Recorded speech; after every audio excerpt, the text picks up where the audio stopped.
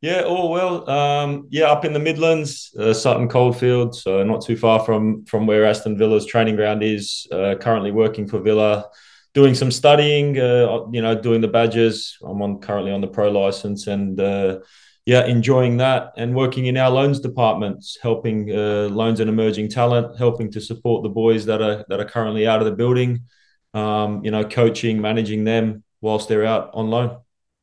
What what was it like, Mile, when um because you got involved, didn't you, first team training when um Steven Gerrard got sacked? How did you find that? Did you enjoy it? Yeah, mate, I loved it. Um, you know, it's it's always felt really energized around being around the lads. Obviously, knew a few, known a, a yes. few of them and, and, played with a couple of them, but yeah, energized around the boys and uh, again want them to do the best they possibly can every single day. I think would be my way of looking at it, rather than just for the weekend. Just every single day would be my, you know, trying to energize and and, and see see them thrive every single day. Mm. Um, what do you think of the way that Villa are performing at the moment under Unai Emery with his guidance?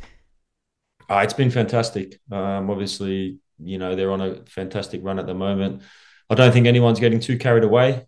Um, I think there's a there's a real focus there, and and there's a just a yeah a real discipline there in in, in everything that's happening and uh, it's it's been really it's been really encouraging for us to uh, for, for myself really to, to to to be witness of and, and see when, when you look at how they're playing at the moment, Mile, and you, you know the club inside out, the owners are on board. You know, you see the owners at the right times, don't you?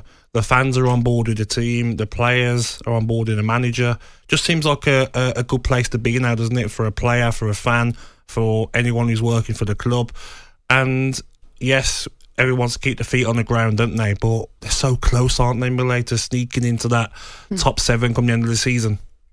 Yeah, listen, there's definitely gonna the work's gonna definitely be cut out. I think what you said and, and you made a really good point. Um, I think the atmosphere around anyone that's been to Villa Park, especially in recent uh, weeks, is there is a real atmosphere. There was, you know, I had uh, some of the family go on on Saturday, and and I was just, you know, I, you know that there's a sense of anticipation there, and, and there's a real atmosphere which which is building and that's only helping that's only helping the cause and, and I think it has to continue to be that way until the end of the season there needs to be a lot of energy and and, and enthusiasm and and and let's see where it gets us. Um, I don't, like I said earlier, I don't think every, anyone's getting carried away. No. It is getting, it is getting taken a, a, step at a time, and and and it'll continue to do so because there are there are so many points still to play for, and there's some tough games to come as well.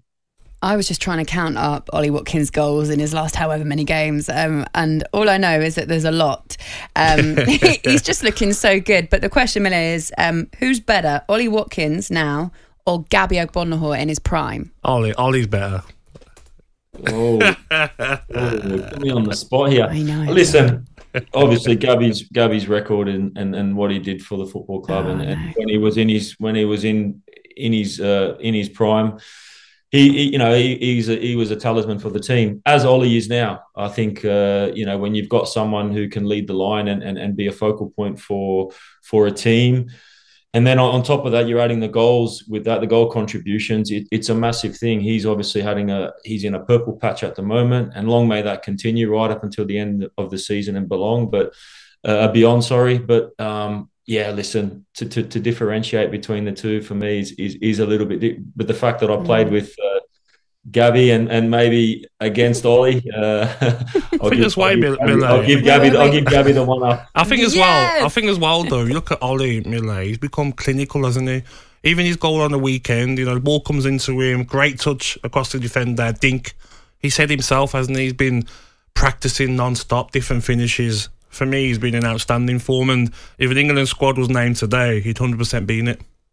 Oh, listen, he's he's he's obviously you know he's working day in day out yeah. as you do as a professional footballer, um, and it, and, it, and now he's reaping the rewards. Um, that that wasn't that was always there. It's just now it's coming to fruition. He, he's obviously found that found some form and found a level of confidence and an understanding that's got him into the right positions and, and what he does in front of goal, what he's doing in, currently in front of goal, like you said, is is will will earn him a lot of plaudits. But you know, may also get him back into that in England squad. Mm. Um, I'm going to give you some words for Gabby Agbonlahor, um, so you can pick out a few if you want. Uh, was he a good trainer, a oh, teacher's oh, no. pet, a loose cannon, any, all of the above? Oh. You can be honest, Mile. I'm a big boy. Good, good trainer. I'd go. I'd go fifty percent of my what I would consider. If, Mile, if it was um, round robins, I, w- I was on it then for round robins where you play like yeah, but that's not five aside. we, we, had him. We had him for the last twenty minutes. We had him for the last twenty minutes. what about how how close was he with the managers? Um, I think during my time there, um, which obviously was came as a result of Villa getting relegated. Um, I'd say probably not as much, but I, I would have imagined that Gabby would have had, a, had an influence. He would have had an influence long before that when he was captaining and things like that. Absolutely. What about how much of a loose cannon was he away from the pitch? No, that's not a. There's, no. Yeah, there's not. There's nothing for me to not say. even on the Christmas party, or was it? Was it? Unbelievable. uh, we had some. We had some good times. It was not a. Uh, there. There's nothing. That, there's the professionals, Laura. You know what this tells me? Former teammates stick together, right? So I'm going to have to work a little bit harder to get more out of Mile. And in terms of Crystal Palace and what they've done so far this season, they also have a new manager at the helm, and it's a manager that they know really well. Roy Hodgson back in there, back to back wins now for him, two games in charge. They've moved up to 12th, they're on 33 points, six points above the relegation zone. It feels like a much healthier position, doesn't it, Mile?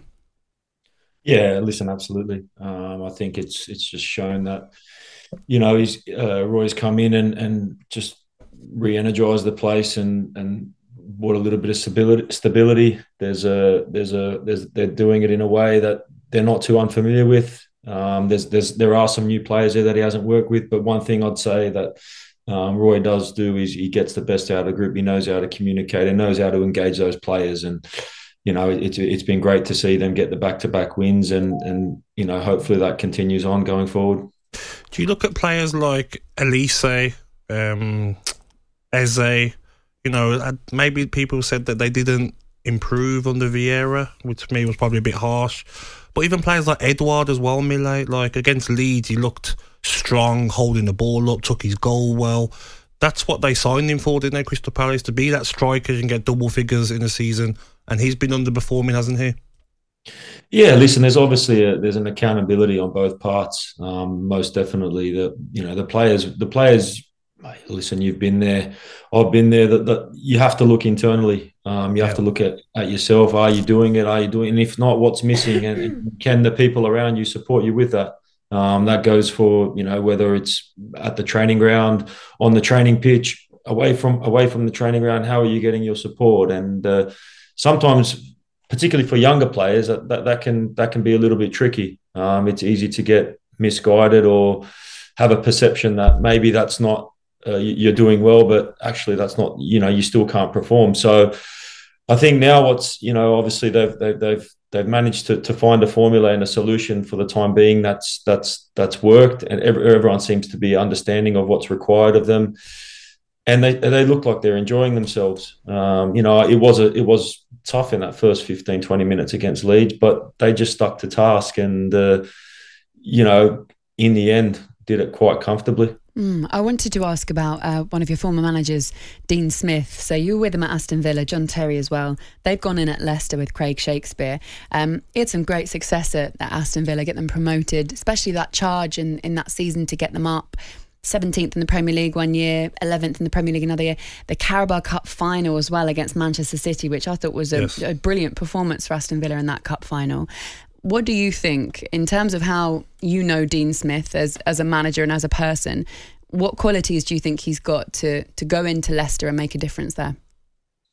Yeah, obviously it's never an easy situation. I think with so you know so many changes, and then I think if you're looking at it from a you know with with how many games are left, the schedule, it's it's all going to be a little bit challenging. But what I will say is they're going to need to obviously engage engage the boys straight away and re-energize them and and get them in in some sort of shape and organization that they're comfortable with um, and I know that they'll do that. They'll have a formula. They'll have a template that they'll use. Um, they've obviously been through the experience of of keeping Villa up in the Premier League um, over the course of a season. so they're going to have their, their, work's definitely going to be cut out. But um, I'm sure that you know that's the reason why the opportunities come about is is that he can see it as something that that can be achieved and, and he'll believe that and so will his staff and he'll make sure that everyone else around there will believe that also you'll also know jack really well jack Grealish. what do you think of the way that he's developed into one of the best players in the premier league at the moment yeah, listen, I was fortunate enough last night. Actually, I went to the game. I took uh, a couple of my boys there, and uh, it was great to see. I hadn't seen him live since uh, for a very long time, and uh, it was yeah encouraging to see. He's very much one of the main one of the main men in that team, and, and it's it's really refreshing to see. He, will always take the whistle. You know, it, to see it. And I think more so that everyone's sort of understanding that now and, and can see it. It's, it's, it's really, for myself, it's, it's really pleasing to see because I know how hard he does work on, on trying to be the, a better player every single day. Yeah. Okay, Mile, thank you so much for your time. We'll thank you, Mile. Really appreciate that. No worries, guys. Thanks for having me on. Oh, man, anytime. Honestly, wonderful. Oh, Thank nice you so guy. much. No secrets about Gabby. You just Lovely. you're just pleased that he didn't show you up. Do you know exactly. what? Next time, because what brilliant talker by the way. Um, yes. We'd love to have him on again, but the only way we have him on again is if he gives me a little yeah. nugget of information. I think if I'm you. not on, he might, you know, release info. You know what? I will find out your secrets. I will find people that played with you now. Youngie couldn't wait to, to I tell know. the secrets. Youngie was all Youngie over was it, telling you everything, but to cut him off. If Ashley Young was listening this morning, can you just text me a couple more? so that by the end of the show, I've got something on Gabby this morning. Talk Sport Breakfast with Laura Woods, Monday to Wednesday morning, 6 till 10. On AM, on DAB, via the Talk Sport app, and on your smart speaker. Talk Sport.